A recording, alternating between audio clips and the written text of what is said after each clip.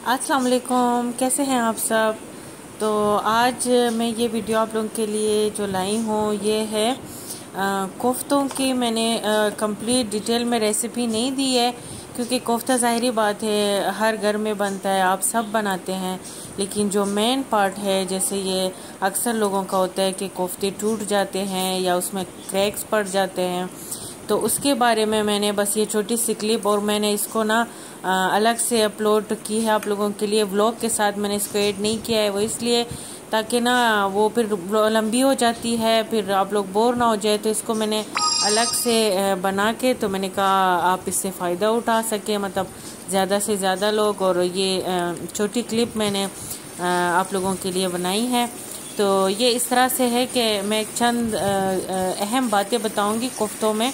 ये जो आप देख सकते हैं जिसको मैं हिला रही हूँ। ये बिल्कुल गोल गोल सा ये बन गया है। बिल्कुल बॉल की तरह, बिल्कुल ये ना क्रैक है इसमें, ना ये टूटे हैं। तो इसमें ना मैंने एक एड किया है और ना इसमें ब्रेड क्रम्स मैंने शामिल किया है। बस इसमें सिर्फ़ ना, अगर आप इसमें एक शामिल कर ले तो कर ले। लेकिन मैंने इसमें ऐड नहीं किया है। लेकिन आप अगर कर ले तो एक या दो एक आप इसमें अंडे आप डाल सकते हैं। लेकिन इसमें मैंने सिर्फ़ जस्ट जो हिपी मसाले आप लोग ऐड करते हो कोफ्ते में वही है और बाकी इसमें मैंने बेसन ऐड किया है, तीन चार चमचे बेसन के। और बाकी वही इंग्रेडिएंट्स है जो आप लोग कोफ्तों में डालते हो, बाकी सब वही है जो आप लोग जिस तरह से बनाते हैं। तो बस सिर्फ़ इसमें मेन चीज़ें जो है, एक तो आप कोशिश करें कि कीमे को धोए ना मतलब आप पहले गोश्त जब लाते हैं उसको धो के उसके बाद कीमा कर लें। तो मतलब कि कीमे को अगर आप धोएँगे ना तो उसमें फिर वो ना इस तरह नहीं बनेंगे कोफ्ते।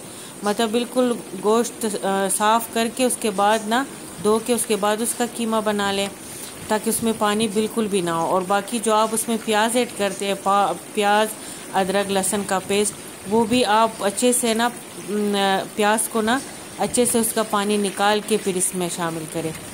अच्छे से निचोड़ के, जैसे हाथों से निचोड़ते हैं ना, उस तरह से निचोड़ लें। और बाकी जो है जब बना लेंगे सारे कोफ्ते तो आप उसको थोड़ी देर के लिए या रेफ्रिजरेटर में या फिर फ्रीज़र में थोड़ी देर के लिए पाँच मिनट के लिए आप रख दें ताकि वो ना एक दूसरे पे मतलब वो एक, एक जान हो जाते हैं। तो फिर इस तरह से उसके बाद आप इसको फ्राई करें। तो साथ में मैंने चिप्स भी बनाए थे। क्योंकि ना कोफ्तों के साथ चिप्स बड़ा अच्छा लगता है अच्छा कॉम्बिनेशन है तो इसलिए हर दफ़ा मैं कोफ्ते बनाती हूँ तो साथ में चिप्स भी बना लेती हूँ। और ये कोफ्तों की मैंने, कोफ्तों का सालन बनाया था सालन के लिए मैंने ग्रेवी भी बना ली थी। तो ये बस छोटा सा मैंने आप लोगों के साथ शेयर किया। मैंने कहा, अगर अगर आप लोगों को कोफ्तों की पूरी रेसिपी अगर चाहिए हो तो मुझे कमेंट सेक्शन में बताइएगा। अगर ज़्यादा कमेंट आए मुझे तो इंशाल्लाह मैं कोशिश करूँगी कि डिटेल में पूरी ना कोफ्तों की रेसिपी मैं आप लोगों के साथ शेयर करूँ। अच्छा आपने बस ये तीन बातों का ध्यान रखना है। एक तो कीमे को धोना नहीं है, दूसरा उसमें प्याज को खुश करके उसमें ऐड करना है, और तीसरा जो है, आपने इसको फ्रिज में थोड़ी देर के लिए रखना है। तो कैसे लगा आप लोगों को मेरी आज की वीडियो? अगर अच्छी लगी हो तो प्लीज़ लाइक कीजिएगा। एंड जिन्होंने सब्सक्राइब नहीं किया है, वो सब्सक्राइब भी करें। मैं मिलती हूँ इंशाल्लाह आप लोगों के साथ किसी अच्छे नेक्स्ट व्लॉग में। अपना बहुत ज़्यादा ख्याल रखिएगा। अल्लाह हाफिज़।